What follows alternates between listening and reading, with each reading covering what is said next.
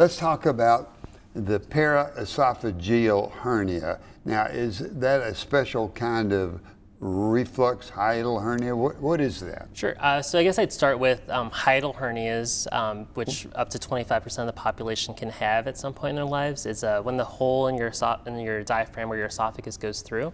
If it's too big, then part of the stomach can go up into the chest, and if that happens, then that can cause symptoms like reflux or heartburn, um, sometimes chest pain, um, and it can be a difficult um, thing to manage. It can ruin a person's life, and you have the ability to help it. So, first thing we do is put the patient on the table, bring the robot in, and then what do you do?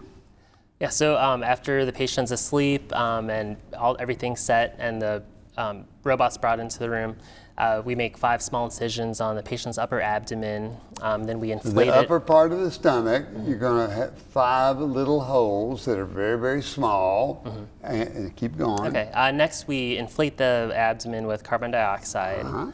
And then we put our instruments in, including the camera. And then after we do that, then we proceed with the operation, which entails um, mobilizing the stomach and bringing it down into the abdomen um, from from the from the hernia. So if the stomach yeah. is up here, you bring it down where it's supposed to be, mm -hmm.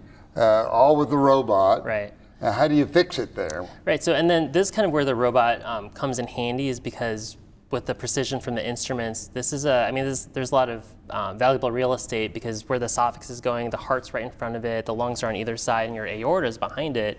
So it can be a high risk operation, but if you know what you're doing and you have the tools and if you have a robot, um, which can help, then you can do this safely. But it involves uh, freeing up the esophagus and stomach, moving the stomach. Free up the esophagus and the stomach, mm -hmm. and then what?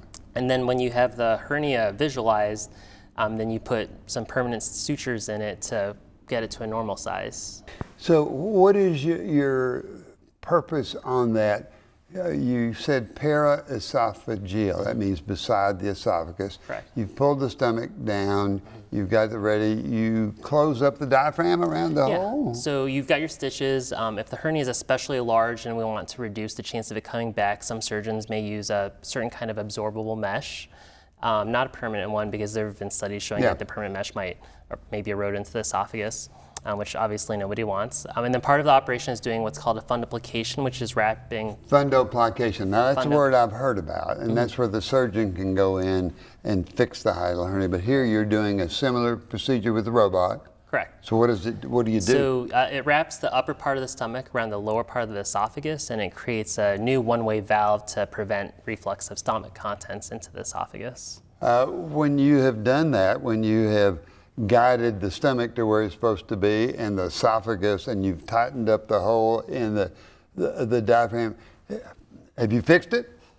You have, yeah. And then, so the operation's done, you wake up the patient and they're home in the next day or two.